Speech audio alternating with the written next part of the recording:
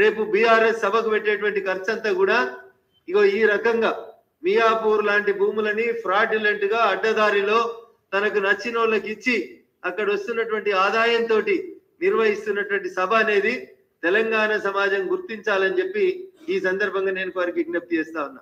వంద ఎకరాలు చదువు చేసినాం పది లక్షల మంది వస్తారు. బీఆర్ఎస్ సభ రాష్ట్ర చరిత్రలో కాదు దేశ చరిత్రనే మలుపు తిప్పుతుంది. మంత్రులంతా పోయి ఏదో కొత్త ముచ్చట చెప్తా ఉన్నారు ఖమ్మంలో వరంగల్లో మహబూబాబాద్లో. ఇవేనా పైసలు? ఈ మియాపూర్ భూములు కాపాడుండ్రి.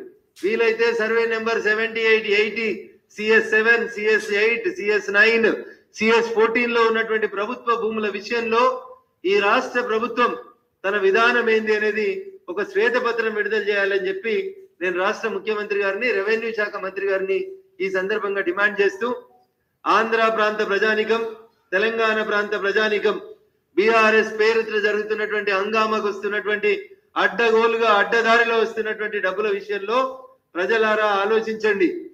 ఈ పైసలతోటే రేపు తెలంగాణలో మళ్ళీ ఎన్నికల చరిత్రాన్ని మార్చాలని చంద్రశేఖరరావు గారు ప్రయత్నం చేస్తుండ్రని ఈ సందర్భంగా మేము సూటిగా వారి మీద ఆరోపిస్తా ఉన్నాం.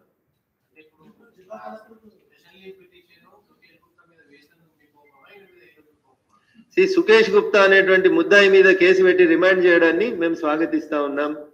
తప్పు చేసిన వాడు తనయుడైనా తనయైనా జైలుకు పంపిస్తా అని చెప్పి రెండు వేల పద్నాలుగు జూన్ నిండు శాసనసభలో తొలి శాసనసభలో తొలిసారి ముఖ్యమంత్రి గారు మాట్లాడిన మాటలని మేము స్వాగతిస్తూ ఆ మాటలకి వారు కట్టుబడి ఉండాలని చెప్పి ఈ సందర్భంగా వారిని వారిని మేము విజ్ఞప్తి చేస్తా ఉన్నాం. ఒకవేళ కట్టుబడి ఉండేది ఉంటే సుకేష్ గుప్తా మీద వేసినటువంటి స్పెషల్ లీవ్ పిటిషన్ తోట చంద్రశేఖర్ గారి కంపెనీ మీద సుప్రీంకోర్టులో వేయనందుకు రంగారెడ్డి జిల్లా కలెక్టర్ని ఎందుకు మీరు ప్రాసిక్యూట్ చెయ్యరు అనేది మేము ఈ సందర్భంగా డిమాండ్ చేస్తా ఉన్నాం.